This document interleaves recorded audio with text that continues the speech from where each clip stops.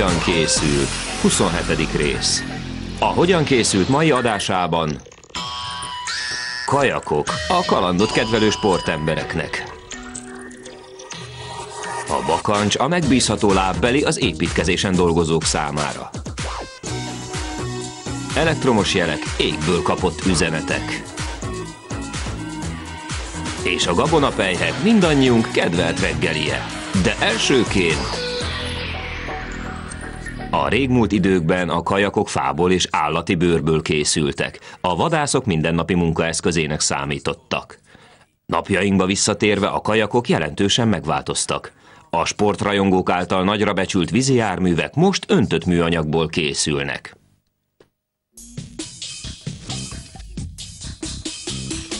A kajakokat a nikkelből készült öntőformába töltött műanyagból alakítják ki.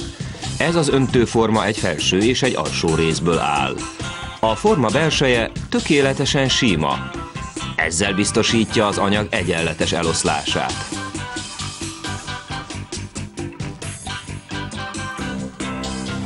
A feliratokat, grafikákat a kiöntés előtt felhelyezik a formára, hogy azok impregnálódjanak a műanyagba. A matricák felrakását biztos kézzel kell végezni, mert ha egyszer odaragadtak, nem lehet levakarni őket. Ezt a por alakú polietilént töltik az öntőformába. Ebből lesz a hajó teste. A por különböző színekben létezik, a felhasznált mennyiséget pedig az dönti el, melyik kajakmodellt készítik el.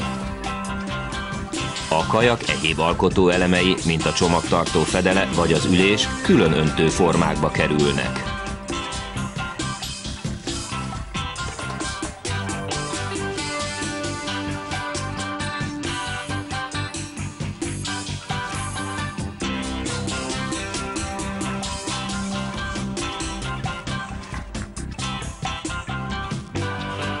Mielőtt a kemencébe kerülne, az öntőformát kapcsokkal szorosan lezárják, nehogy kiszóródjon a polietilén.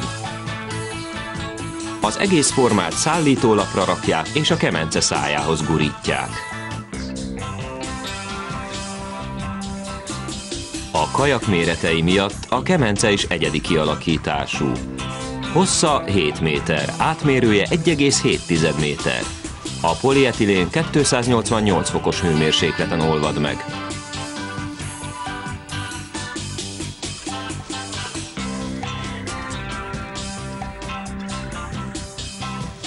Hogy a műanyag egyenletes eloszlását biztosítsák, a formát minden irányba megmozgatják. A tengelye körül forog, a kemence maga pedig 30 fokos szögben dől előre-hátra. Ezt a folyamatot nevezik rock and rollnak. 20 perc elteltével a munka kész, a forma elhagyja a kemencét. A műanyagot azonban le kell hűteni, hogy megszilárduljon. Ennek érdekében ebbe a hűtőkamrába helyezik. Túl gyorsan sem szabad lehűteni, mert a minta deformálódhat. Egy 4,8 méteres kajak akár fél métert is veszíthet a hosszából. Végre lekerül az öntőforma teteje.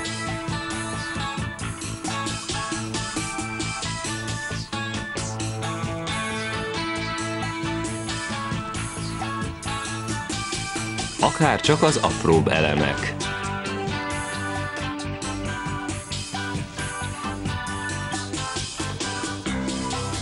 Kajak ezután az összeszerelő műhelybe kerül.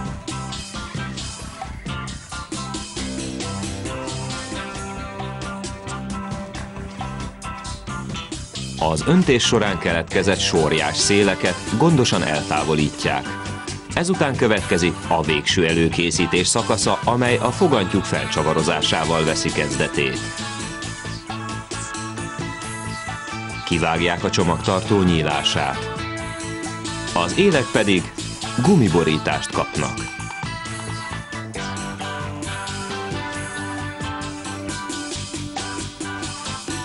a központi tartólemezt is behelyezik. Ez az alkatrész fontos szerepet játszik. Összeköti a hajótest alsó és felső lemezét. Ezt követően már csak a csomagtartót kell elkészíteni. Rögzítő kapcsokat csavaroznak a szélére, felhelyezik a tetőt, és egy zsinórral kötik át.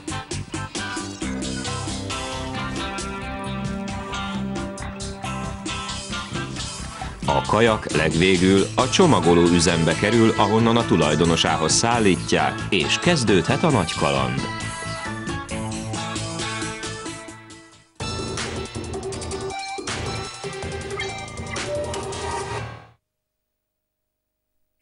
Reméljük, a következő történet egyikünkkel sem fog megesni.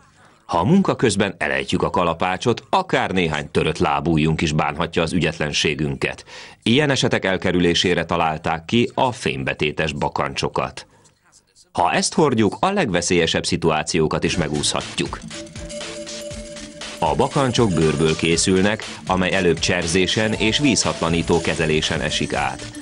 A nyersbőr egy borotvába kerül, amely kiegyenesíti és megnyitja a pórusokat a további kezelések számára.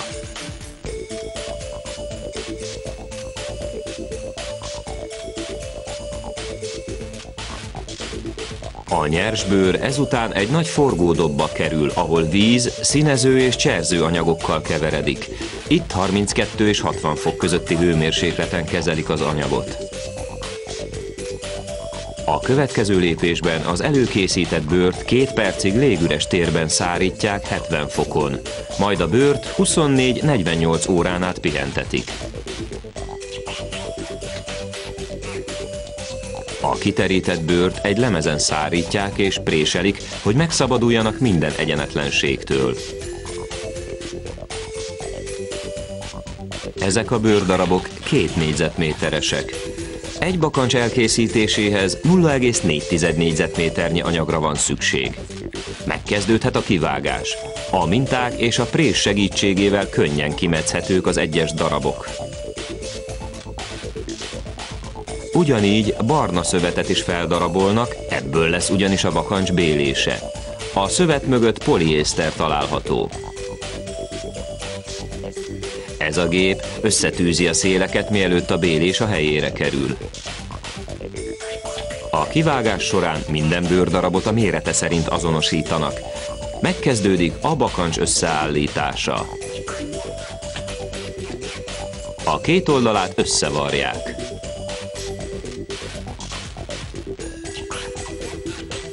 Következik az orrész, ezt is hozzávarják. A kiálló darabkákat mind eltávolítják. A cipőfűző lyukait is kialakítják és megerősítik az acél, réz vagy alumínium karikákkal. Ezután egy betétet erősítenek fel egy lábformára. Ezt a formát azért helyezik be a bakancsba, mert megkönnyíti az orr összeállítását. Ez a gép minden kis egyenetlenséget eltávolít a felszínről, mielőtt a bakancs tovább kerülne a következő fázisra. Itt helyezik fel az acélbetétet. A bőrt felhúzzák, helyére illesztik és rögzítik a betétet. A bőrt ráhajtják a bakancs talpára, alul szegecsekkel rögzítik és oldalt forró ragasztóval kenik be, ennek a gépezetnek a segítségével. Ezzel elkészült a lábbeli felső része.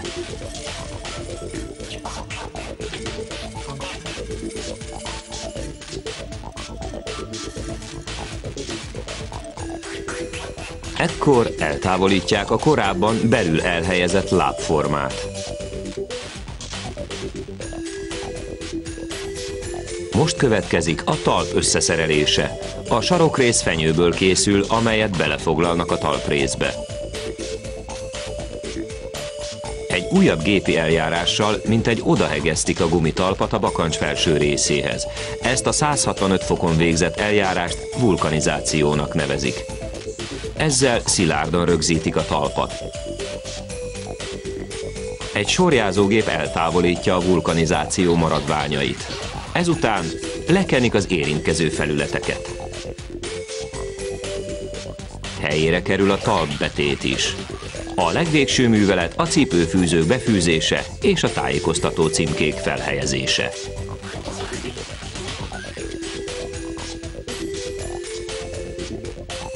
Kézbakancsok a csomagoló üzembe kerülnek. Egy pár bakancs gyártásához nem kevesebb, mint 123 technológiai lépés szükséges, a csomagolást is beleértve. Minden párban 101 méter műanyag, poliészter és pamutszál található, valamint közel egy négyzetméternyi vastag és ellenálló bőr. A lábunk megér ennyit. A hogyan készült folytatásában. Elektronikus jelek. Nem kell megvárni a Matrix világát, hogy a neon reklámok üzenete hozzánk is kristálytisztán jusson el. És a gabonapelyhek sokunk reggelie. Ezeket a finomságokat is gépek készítik el nekünk. Tartsanak velünk a szünet után is.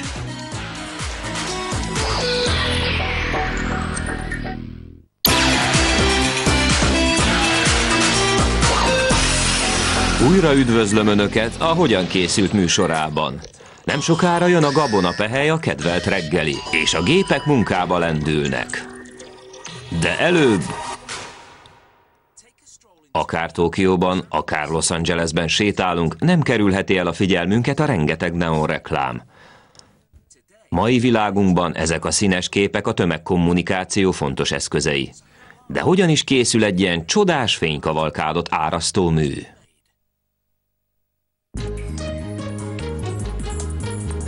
A digitális elektronikus kijelzőket akár hatalmas képernyőként is használhatjuk. Közülük egyesek csupán néhány méteresek, de akadnak jóval nagyobbak is. Egy ilyen kijelző elkészítése a számítógépes tervezéssel veszi kezdetét. A tervet mérnökök és építészek alakítják ki. Parányi fényforrások, az alapelemeknek nevezett diódák milliói alkotják a kijelzők felületét. Az alapelemek germániumból, galliumnitrátból és szilikonos félvezetőkből épülnek fel műanyag burkolattal. Megfelelő módon elhelyezve őket egy mátrix alakul ki belőlük. Egy dióda felvillantásához mindössze 10-20 mA szükséges, az üzemidejük 150 ezer óra.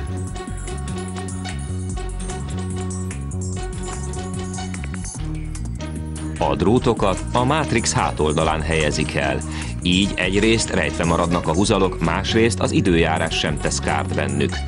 Attól függően, hogy a képet milyen távolságból fogják nézni, a diódák közti távolság 2,5 mm és néhány centiméter között változhat. Az elektromos csatlakozóba szorosan rögzítik a kábelvéget, nehogy a kijelző mozgatása során kioldódjon. A mátrixoknak összehangoltan kell működniük.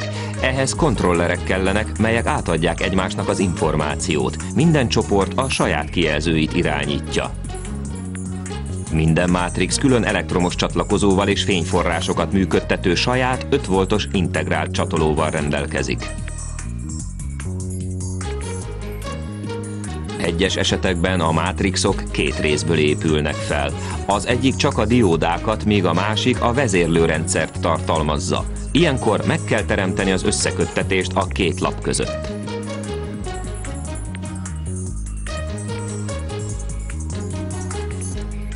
Következik az adatkábel csatlakoztatása. Ezen keresztül érkezik utasítás a fényforrások be- és kikapcsolására. Minden mátrixhoz két kábel csatlakozik tehát, az elektromos ellátást és az információ áramlást biztosító. Most ellenőrzik a mátrix megfelelő működését. Ha minden rendben, a mátrixok egymás mellé helyezésével alakítják ki a kijelzőt. Minden szín úgy jelenik meg egymás mellett, mint egy tévéképernyőjén. A mátrixok felszíne ki van téve az időjárás viszontagságainak, ezért a szélükre vízhatlan ragasztócsíkot helyeznek el. A mátrixokat egymás mellé helyezik. Tíz mátrix képezi egy modul alapját.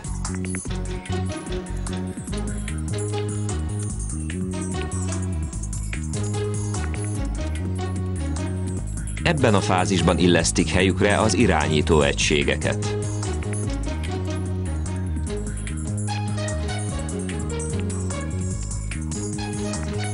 Majd bekerülnek az elektromosságot és adatokat szállító kábelek is. A diódáknak alacsony feszültségre körülbelül 5 voltra van szükségük. Ezért minden modulnak saját transformátora van, ami biztosítja az állandó feszültségértéket. Ezután a modulokat beépítik a kijelző megfelelő helyére. Természetesen a rengeteg kábelkapcsolatot minden esetben létre kell hozni. Ez a hatalmas kijelző 35 modult és 12 mátrixot tartalmaz.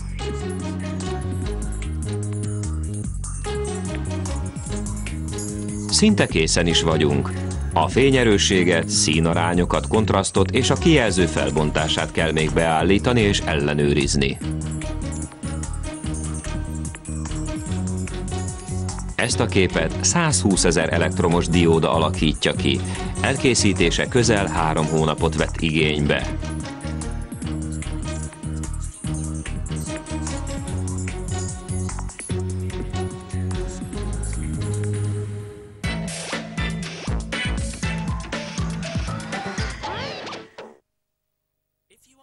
Szeretnék megőrizni az alakjukat, ugyanakkor nem akarnak lemondani az ízletes reggeliről, valószínűleg egy tányér gabonapehely mellett döntenek. A táplálkozástudományi szakemberek a reggelit tartják a legfontosabb étkezésnek. Készítsék hát elő a tejet, és tartsanak velünk a gabonapehely gyártó üzembe.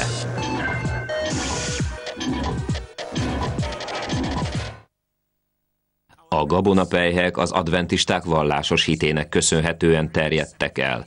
1860-ban ők alapítottak egy olyan szanatóriumot, ahol a betegeket kizárólag ilyen élelmiszerekkel táplálták. A buzapelyhet dr. John Harvey Kellogg fejlesztette ki. Ugye ismerős a név? A testvére William Keys építette az első gabonapehely készítő üzemet. Innen már egyenes út vezetett a boltok polcaihoz.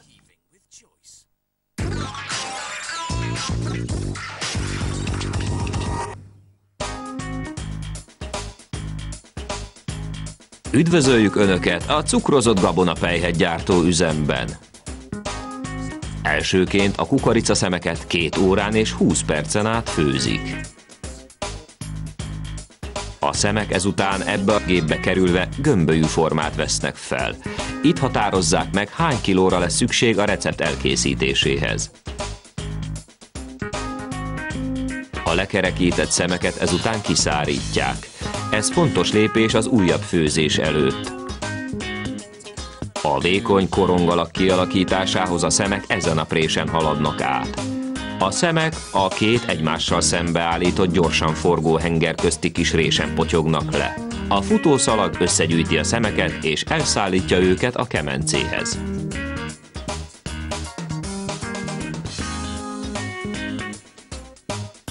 Azért rázzák őket, hogy mindkét oldaluk egyformán süljön.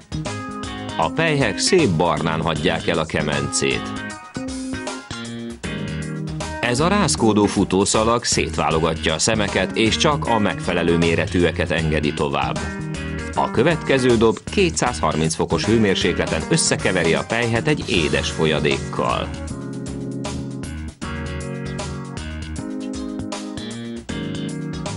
A benedvesített szemeket ezután kiszárítják.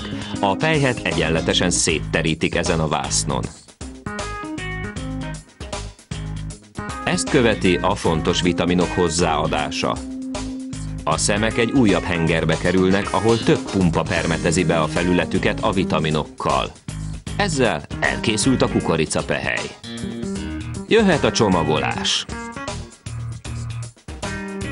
Ez a gép tölti a kis korongokat az acskókba.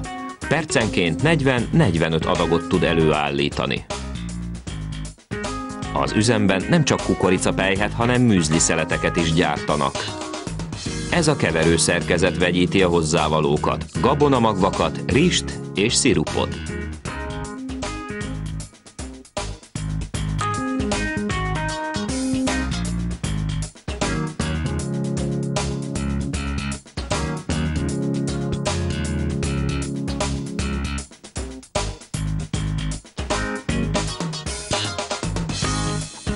Keverék megfelelő állagú, a gép egy nagy lapra teríti ki az elkészült alapanyagot. A keverő kiürül, a futószallag útjára indul. A masszához csokoládé darabkákat adnak.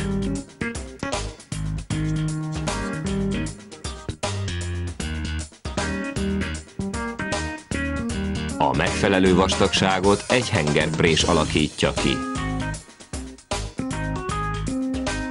A széles lapot ezután 35 egyforma széles csíkra vágják fel, amiket egy kés a kellő hosszúságban szeletel fel.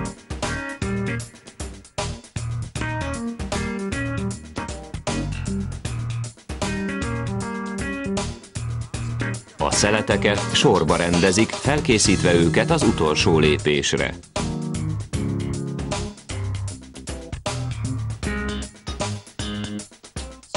A szeletek megfordulnak, hogy most már egymás mögött haladjanak tovább.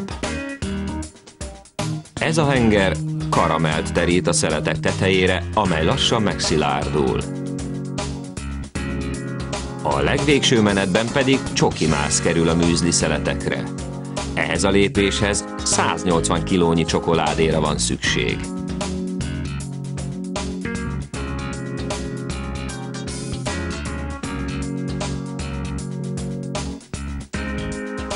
Az elkészült szeletekre már csak a csomagolás vár.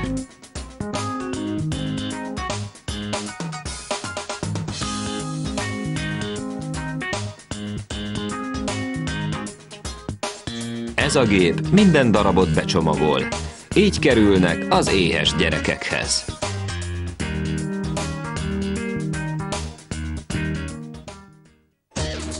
Magyar szöveg Bertalan György, narrátor Kárpáti Levente, munkatársak Horváth Zoltán, Vígvári Ágnes, Derzsi Csilla, Bozi Barbara, Hegyi Eszter. A magyar változatot a Discovery Europe megbízásából a Digital Media Services készítette.